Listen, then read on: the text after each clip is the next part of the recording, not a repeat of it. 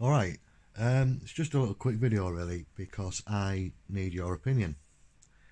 Um, as you'll have seen, for those of you who watch my channel, uh, I've gotten into knife building at the moment and uh, currently I'm really enjoying it. Um, this is the one I'm working on now. Uh, clearly there's still a lot to do on it, but I think so far it's going pretty well. Um, the reason for this is because although I have been filming the process and uh, what have you, is that I've done a lot of it off camera. Therefore, not worrying about the camera, not worrying so much about what I'm going to say. It's gotten me thinking a little bit.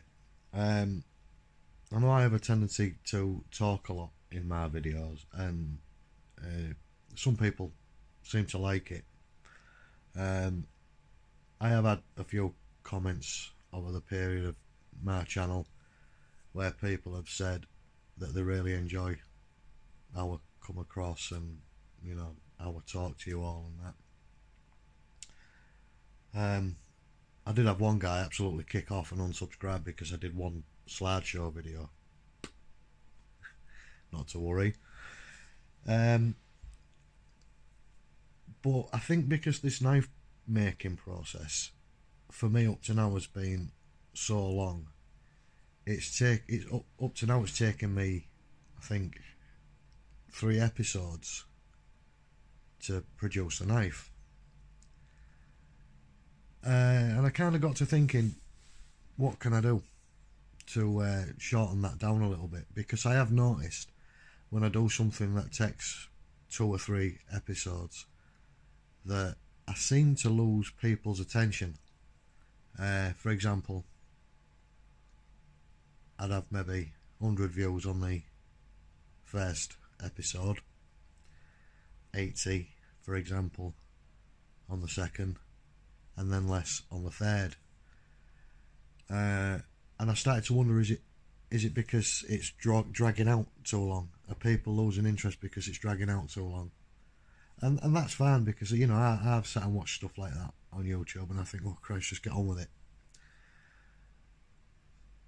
What I've decided I might try, if people are okay with it, is to actually just film what I'm doing and be quite harsh on the editing and then maybe have a little chat at the end of each episode or at the end of the build.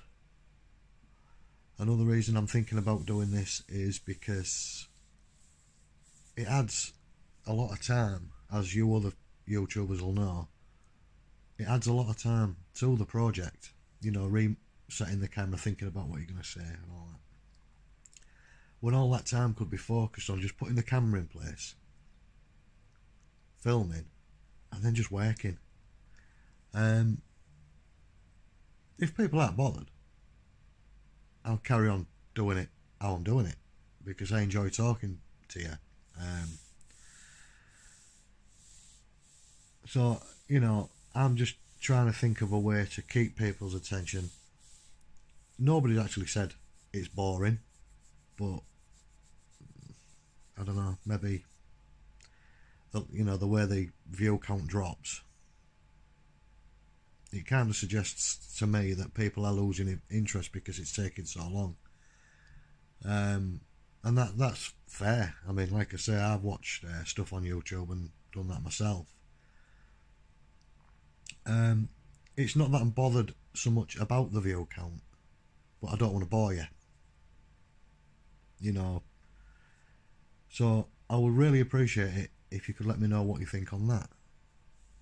Also, um, some time ago, or not too long ago, really, uh, a couple of people suggested to me that I go live on YouTube. I'm not really sure why they've suggested it, um, but I am considering it. Um, so I'd like to know, if you don't mind, please. I'd like to know what you think of that idea. So, is it something you'd be interested in?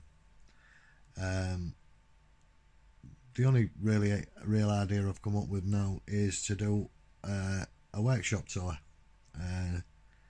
Because uh, to be honest, it has changed a little bit since a year ago, just over a year ago, when I when, when I did my first videos of setting up my workshop. So I was wondering if people might be interested to see that uh, live. That's about it.